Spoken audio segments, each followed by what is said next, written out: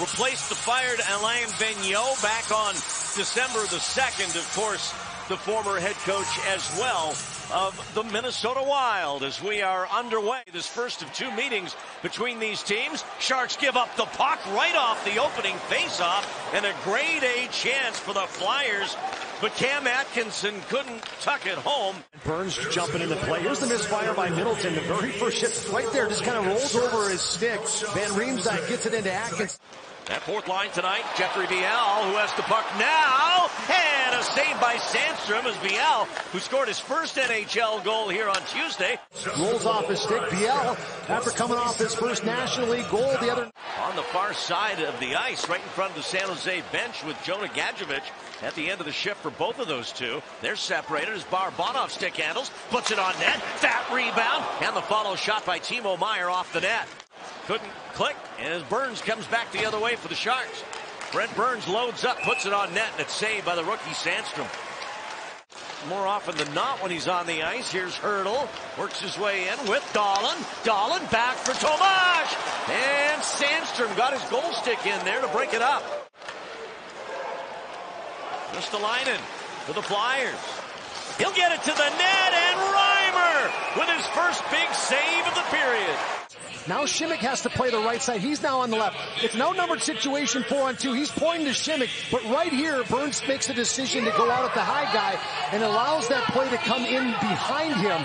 So sometimes you have to recognize it's an outnumbered situation. You have to delay the opportunity as long as possible. And now Yandle waiting to see what Couture is going to do. Spins him around, then delivers a nice feed to Konecny. Travis Konecny sends it up on the wing. A chance, and they score! And the Flyers strike first. It's Morgan Frost. 1-0 Philadelphia. And three on two with the center lane drive right there. And Meloche, if you're going to let the guy drive through there, you've got to get a piece of him. And because he doesn't, Konecny just knows now he's just got to get it over to Frost because it was a three on two to begin with.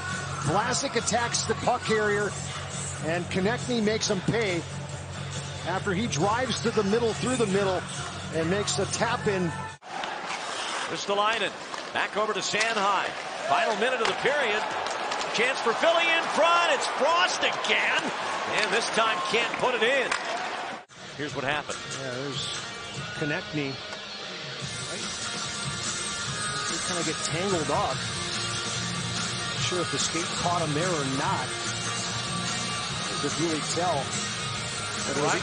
Reimer's going to stay in. Yeah, Ian Walsh was calling over Ray Tufts right away. I mean, he was waving him over kind of frantically, if you will. And that was something that worried me that, you know, those skates can cut you in a hurry. I've had... Flyers back. And then eventually they won it in overtime on an Ivan Provorov goal. Second period underway. We'll see the Flyers again. Sharks penalty killers tipped a bit. They Sharks penalty so Jake Middleton's made a lot of real subtle plays here tonight where he hasn't panicked. Here's Couture with a break. Score!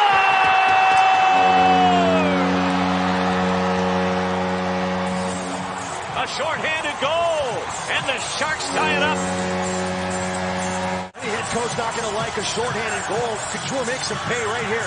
That little self pass finds a 5-0 on the young goaltender from Philly. This one gets by Yandle, and now it's just settle the puck if you're Couture, get your head up, find a hole, exactly what he does. But this is all set up from Middleton. Off the face-off win, doesn't panic with the puck. They navigate it out into the neutral zone, and Couture ties the game. Couture again. Backing up is Provorov. A three on one, short-handed. Couture shot saved by Sandstrom. Chances. Here's the three on one with a back checker from Philly. Rims it around to the weak side. Middleton there first. Sharks have killed the penalty and scored, and now Hertl. Tomas. He's got Burns. Scores!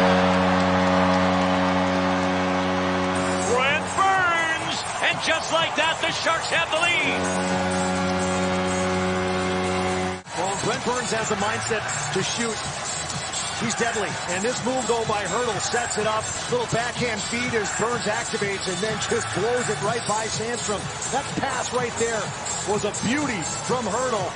And then it was just Burns just having to settle down that pass, get his head up, and find an opening. And just like that, Sharks now hold the lead.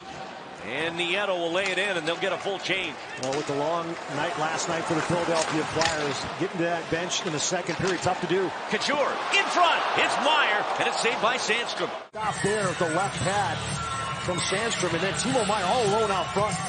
And this puck will skip perfectly for Noah Gregor. Here's Gregor into the zone, dangles, shoots, and it's saved by Sandstrom. Sandstrom seeing a lot of incoming. Yeah, looks like he was going to pull the trigger right there. It was the Ristolainen kind of you said it earlier. I have loved Lane Pederson's game tonight. Yeah, he's all over it. That was aggressive forecheck, creates that chance. Two on one. Konecny with Braun, and it's saved by Reimer. Travis Konecny, he's been stuck on 99 career goals. Top corner, that was good save with the shoulder. Two on one. I like how Simek played that. Allowed Reimer and trust his goaltender, saying that, hey, I take that guy on the backside. Let me delay this as long as possible for another minute 47 carryover from a penalty late in that second period. And we are underway with period three. Gregor into Bonino. Gregor with the puck in front, Barabanov, and denied at the doorstep. Alexander Barabanov. It looked like it was in for sure. Catch it on the backhand, turn and fire, but here's the other one.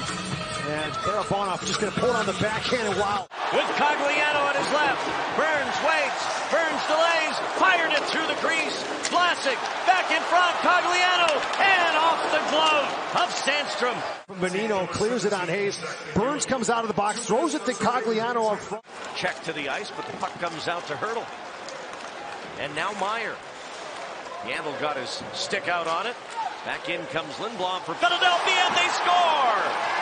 Joel Farabee with a quick wrist shot that fooled Reimer, and it's 2-2. Well, Farabee makes them pay on a turnover in the neutral zone. Puck management, one of my keys here tonight, and this is just a, a terrific wrist shot. Beats Reimer to the far side, and boy, I wonder if this could be offside. They're going to probably obviously take a look at it now, but they did everything right the Sharks did, and Timo Meier helps his defenseman, takes the puck out, Karlsson going after Konecny. They both both guys getting swats at each other.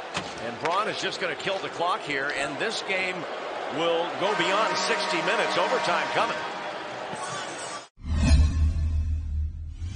Erik Karlsson to start the overtime. It's Claude Giroux with Cam Atkinson and Ivan Provorov for the Flyers. As Hertl jumps on along with Gregor. Tomas Hertl toward the net brings it back around in the crease, and it's grabbed and held by Felix Sandstrom. Love what Karlsson just held onto it, allowed him to come on the ice and just attack Sandstrom on the on the short side, hoping he can wrap it around. But good recovery from the young goaltender to slide from right to left. Quick pass for Hertl, and the Sharks almost lost the puck. Now they've got a two-on-one. Erik Karlsson with it. Waits. Karlsson. Hertl. And he scores!